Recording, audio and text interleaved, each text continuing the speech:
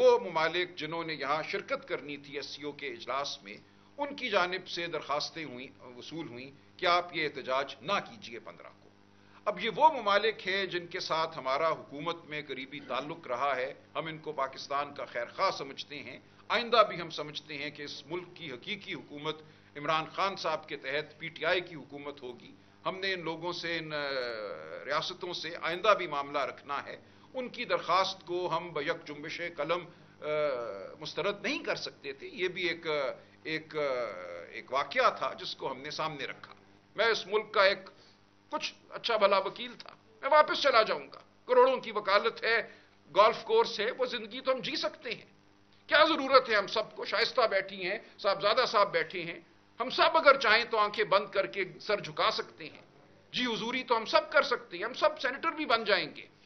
तीन अक्टूबर को आखिरी उनसे मुलाकात हुई और यह कहा गया कि अब 19 अक्टूबर से पहले उनसे मुलाकात नहीं होगी।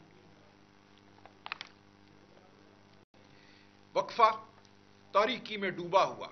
ना उनकी सेहत के हवाले से कुछ बताया जाएगा, ना किसी और हवाले से उनसे कोई मुलाकात होगी। ना वो कला की, ना सियासी रुफाका की, ना खानदान की। आठ अक्टूबर को उनसे एक मीटिंग तय थी, जो जेल मैनुअल के तहत एक हक था खानदान का, उनसे मिलने का एक कायदा है, जो उनके फैसले भी हैं, बिलखसूस इमरान खान साहब के हवाले से कि उनकी मुलाकातों पर कदगन नहीं होगी। आठ को वो नहीं मिल पाते। उनकी मीटिंग जो तयशुदा थी, उसको मनसूख कर दिया जाता है। उनकी एक हमशीरा, जो आज़ाद है अब भी, बाकी दो तो जेल में हैं, जिनको नाहक गिरफ़्तार किया गया।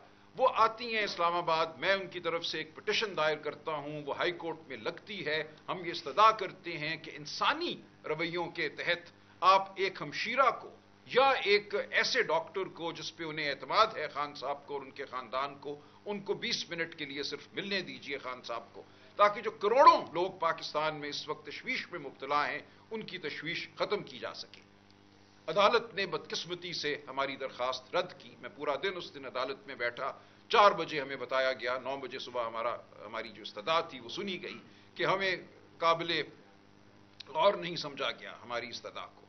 हम आए बाहर। हमारी पॉलिटिकल कमेटी ने एक हंगामी इजलास किया। उसमें हमने ये फैसला किया कि अब हमें एहतजाज करना है हम कानूनी रास्ता अपना चुके कोई और आगे हमें रास्ता नज़र नहीं आता हम इमरान खान साहब को 16 दिन इनके रहमो करम पर नहीं छोड़ सकते। हम सब तशवीश में मुबतला थे। खान साहब के हवाले से उनकी सेहत के हवाले से उन, उनकी उनकी फ़िक्र थी हमें।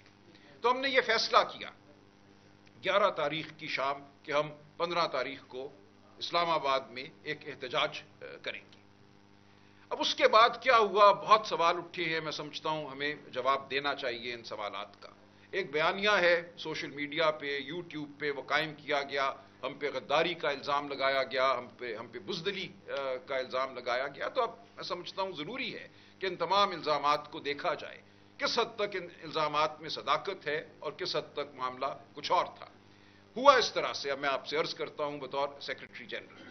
जब 11 तारीख की शाम ये फैसला हो गया कि 15 को हमने आना है इस्लामाबाद अपना एहतजाज रिकॉर्ड करने पुरमन एहतजाज रिकॉर्ड करने, हमने कभी तोड़ तोड़ फोड़ नहीं की। खान साहब की पूरी सियासत इस चीज़ की गवाह है कि हमने तकरीब की सियासत नहीं की। सड़क पर आना हमारा बुनियादी हक है। उस हक को अब इस रजीम ने, इस दौर में एक जुर्म समझ लिया गया है।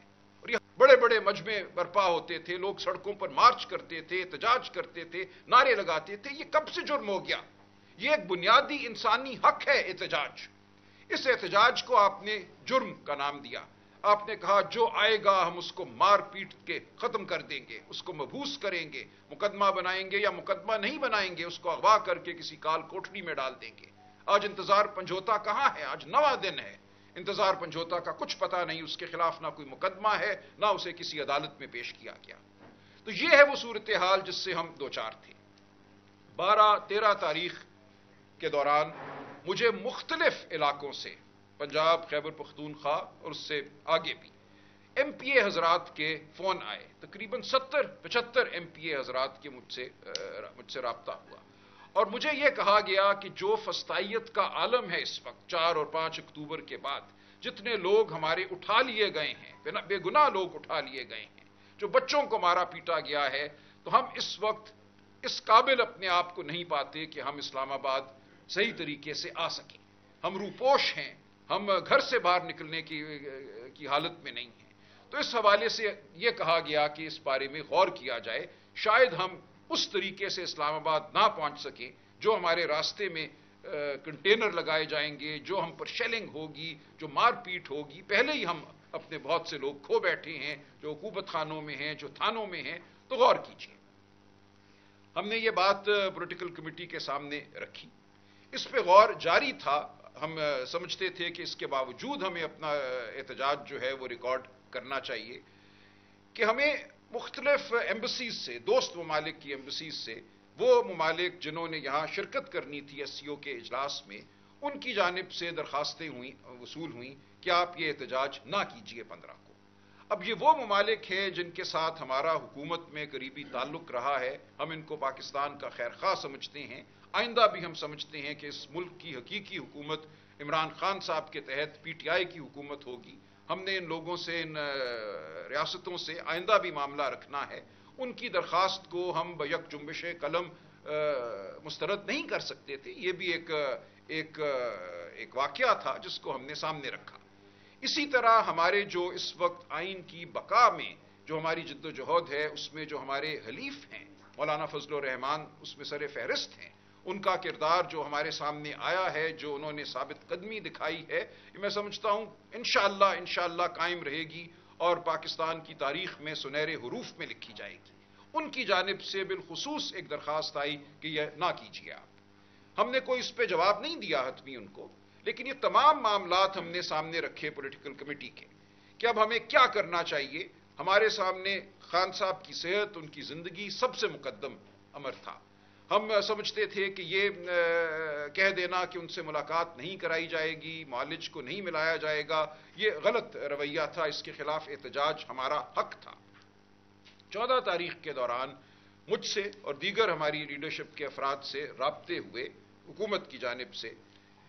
और ये कहा गया कि आप डॉक्टर आसिम यूसुफ को बुलवा लीजिए हम देख लेंगे इन उनकी मुलाकात हो जाएगी, जो खान साहब के एतमाद के डॉक्टर हैं।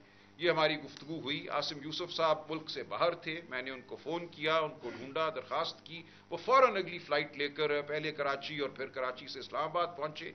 चौदह तारीख की दोपहर वो इस्लामाबाद आ गए थे। और हमें ये उम्मीद दिलाई गई, तकरीबन यकीन दिलाया गया कि उनकी मुलाकात में कोई कबात नहीं है। वो एक प्रोफेशनल डॉक्टर नहीं देंगे, कोई सियासी मैसेज खान साहब का वो नहीं लेकर आएँगे, वो सिर्फ़ उनकी सेहत के हवाले से जो भी मायना करेंगे, वो एक मेडिकल रिपोर्ट देंगे। तो हम, इस अमर को भी हमने सामने रखा कि ये बात मुमकिन है कि ये हो जाए और हमें किसी हद तक इंसानियत की बुनियाद पर ये उम्मीद थी यकीन तो मैं नहीं कहूँगा, उम्मीद थी, कभी उम्मीद थी कि उनको मिलने दिया जाएगा। जबकि सारे अवामिल चौदह तारीख की शाम सामने रखे गए। हमारे सत्तर, पचहत्तर एम पी ए हजरात की दरखास्त, दोस्त ममालिक की दरखास्त, हमारे जो हलीफ, जो इतिहादी हैं, उनकी दरखास्त मौलाना साहब बिलखसूस। और ये इम्कान, मैं इम्कान ही कहूँगा इसको कि डॉक्टर आसिम यूसुफ को मिलने दिया जाए। इन तमाम चीज़ों को सामने रखकर मैं कहूँगा, पोलिटिकल कमेटी ने एक फैसला किया और दयानतदारी से फैसला किया। मैं इस तमाम बहस में मैं मौजूद था जो पॉलिटिकल कमेटी में हुई और एक बहस हुई। ऐसा नहीं है कि ये एक आसान फैसला था। आसान फैसला हरगिज नहीं था। उसमें आरा थी, मुख्तलिफ़ आरा थी, लेकिन हतमी फैसला यही हुआ कि हमें इन तमाम अवामिल को सामने रखते हुए पंद्रह तारीख को जो प्रोटेस्ट है, वो नहीं करनी चाहिए। एक फैसला हो गया। अब ये किसी किसी का सादिर करना, फरमान कि ये फैसला बदहदी पर मबनी था, ये गद्दारी था, ये मैं आप पे छोड़ता हूँ। जो बात हुई जिस तरह हुई वो वाकयात मैंने आपके सामने रख दिए हैं।